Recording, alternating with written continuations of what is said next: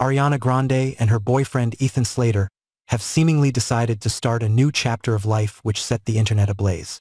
On September 26th, an insider told Life and Style magazine that the couple is considering taking their relationship to the next level by getting married. A source reveals that Ethan is planning to propose to Ariana, hinting that wedding bells may soon be ringing for the pair. The tipster said, Ethan is itching to propose to Ariana. He's already looking at rings, so it's only a matter of time before he pops the question, the source remarked.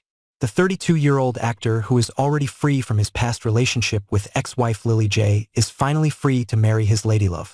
An insider reveals that, following Ariana's split from ex-husband Dalton Gomez, she is taking things slow with the SpongeBob hitmaker. Some of her friends, and especially her family, think she and Ethan should hold off, take things slow, the source remarked. Moreover, the tipster shared that the side-to-side hitmaker is totally in love and would make her relationship official with Ethan if he goes down on one knee. It is pertinent to mention that Ariana and Ethan ignited romance speculations back in June 2024 after being spotted together at the Stanley Cup final in Florida. On the work front, the 31-year-old songstress and critically acclaimed artist will star together in the upcoming film Wicked, hitting theaters on November 22, 2024.